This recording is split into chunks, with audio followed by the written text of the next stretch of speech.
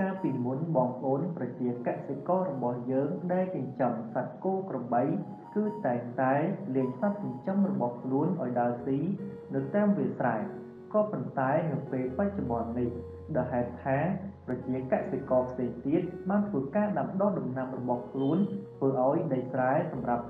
ការលេងគោក្របីឲ្យដើរស៊ីតាមវាលមានការថយចុះហើយប្រជាកសិកររបស់យើងពិបាកក្នុងការ រកស្មៅជាចំណីផ្ដល់ឲ្យគោក្របីរបស់ខ្លួន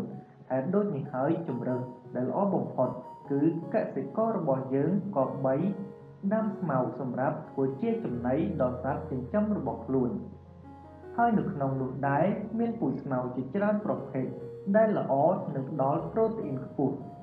ក្នុងនោះក៏មានស្មៅមូលតូធូផងដែរ ហើយស្មៅប្រភេទនេះគឺកំពុងតែមានការនិយមដាំដុះស្ទើរតែគ្រប់តំបន់ទាំងអស់នៅក្នុងប្រទេសកម្ពុជារបស់យើងហើយដូចនេះហើយនៅក្នុងคลิปនេះខ្ញុំនឹងលើកយកអំពីបច្ចេកទេសដាំស្មៅមូលតូធូមកបង្ហាញជូនដល់បងប្អូនទាំងអស់គ្នា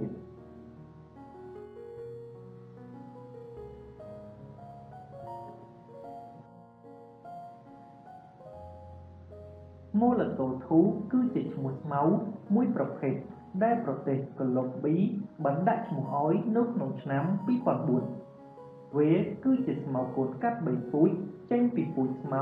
រ៉ូស៊ីស្មៅដេកាំបាន់និងស្មៅ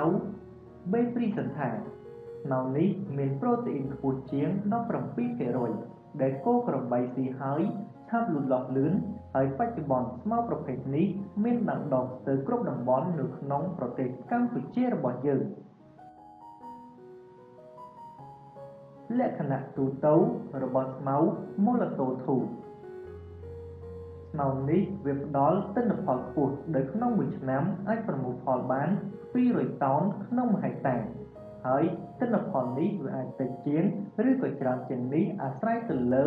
ការថែទាំដាក់ជីក៏ដូចជាដីមានជីវជាតិល្អដើមនិងស្លឹកទន់រសជាតិផ្អែមងាយស្រួលគោរំលាយអាហារដល់ប្រូតេអ៊ីនដល់គោលើសពី17%ស្មៅនេះធន់ទៅនឹងអាកាសធាតុរាំងស្ងួត ព្រោះការដើរចន់របស់គោហើយយើងក៏អាចប្រលាញ់គោក្របីឲ្យដើរស៊ីបានផងដែរជាពិសេសគឺយើងដាំតែម្ដងអាចទុកបានពី5ទៅ6ឆ្នាំហើយអាចកាត់បានខ្ទង់10ដងក្នុងមួយឆ្នាំ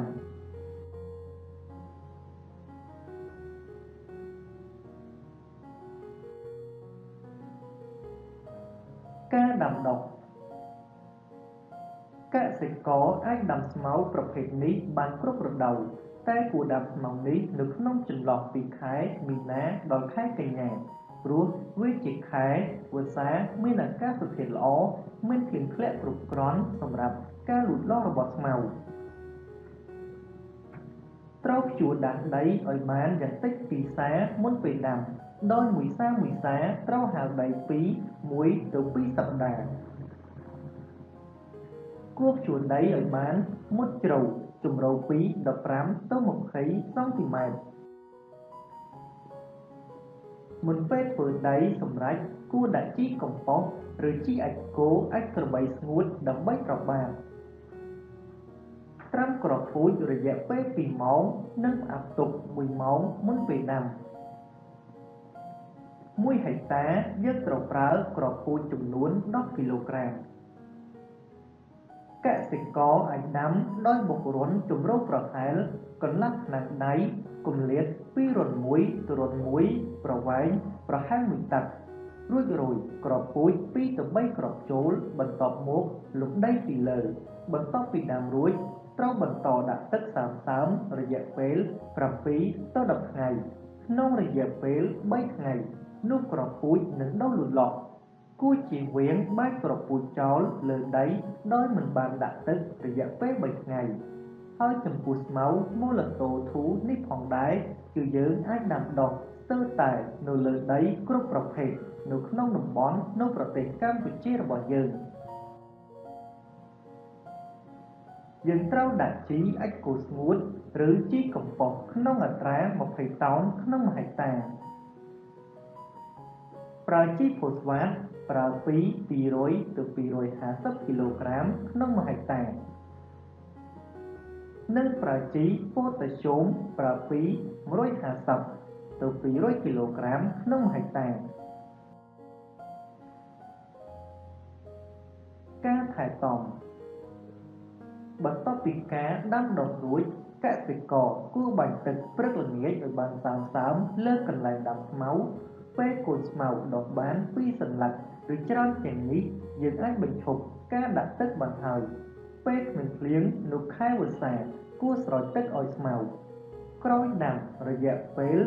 ពី15ទៅ20ថ្ងៃអាចបាចជីបានក្នុងអត្រាពី50ទៅ60គីឡូក្រាមក្នុងហិកតា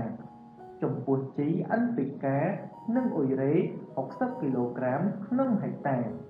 ក្រោយពេលកាត់លើកទី1យើងអាចដាក់ជីក្នុងអត្រាខាងលើបានផងដែរបន្ទាប់ពីកាត់រួចយើងត្រូវដាក់ជីនិងធ្វើការស្រោចស្រពដើម្បីឲ្យស្មៅឆាប់លូតលាស់ឡើងវិញនិងយើងអាចកាត់លើកទី2បានឡើងវិញ។